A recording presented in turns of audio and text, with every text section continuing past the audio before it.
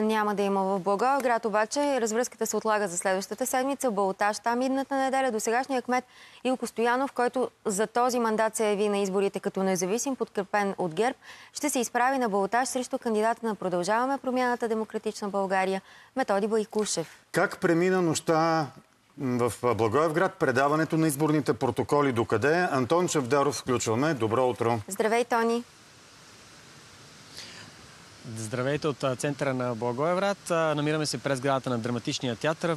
Вътре е спокойно. Това е новината в момента. Няма, няма да ви покажем кадри с чакащи хора. При мен е Мартин Бусаров от Общинската избирателна комисия. Господин Бусаров, спокойно ли премина нощта?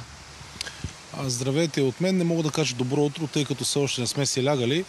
А, спокойно премина приемането на книжата и материалите от а, секционните комисии. Буквално преди да се включим, преди няколко минути, изпратахме последната 141-та комисия.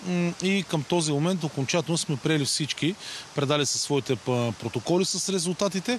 И в момента такът финалните действия по установяване на резултата, за да можем официално с наше решение да обявим, че ще насрочиме втори тур на избора за кмет на община и а, евентуално втори тур на някои от 20-те села, в които произведохме избори за кметове на кметства. С нощи обаче комисиите се забавиха с пристигането си тук. Кое ги бавеше?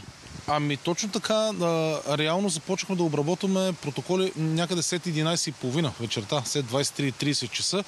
А, разговарях с колегите от секциите, оказа се, че а, доста сериозната избирателна активност, 50,76%, която всъщност придоби тези измерения в последните 4 часа, буквално на изборния ден, е довела до това да има много гласували за общински съветници, което пък от своя страна така е затруднило и е забавило с попълването на големия секционен протокол от 19 листа. Това, а не липсата на машини? Абсолютно това, а не липсата на машини, тъй като, както сами можете да се уверите, Изненадани сме и ние от Общинската избирателна комисия, че всъщност сутринта до 7 часа успяхме да се справим с приемането на протоколите.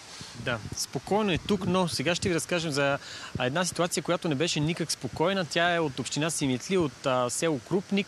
Късно с нощи там имаше много сериозен скандал, след като а, кандидатите за кметове бяха двама. Единият се оказало, че печели с а, само три гласа разлика, но според неговия разказ е бил направен опит да се подмени вотът, тъй като четири от недействителните бюлетини са били извадени и представени са били опитани да се представят като действителни бюлетини от дъщерята на загубилата според спечелилия кандидат. Доста сложно стана, но нека видим какво разказаха с нощи главните действащи лица.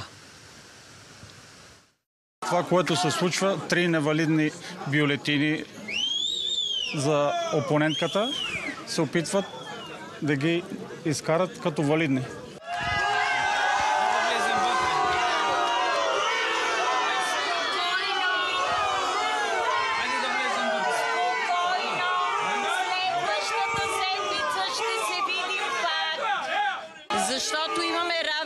Гласове и следващата седмица ще се явим пак на избори. Заради дъщерята на, на действащия пет се случва всичко това.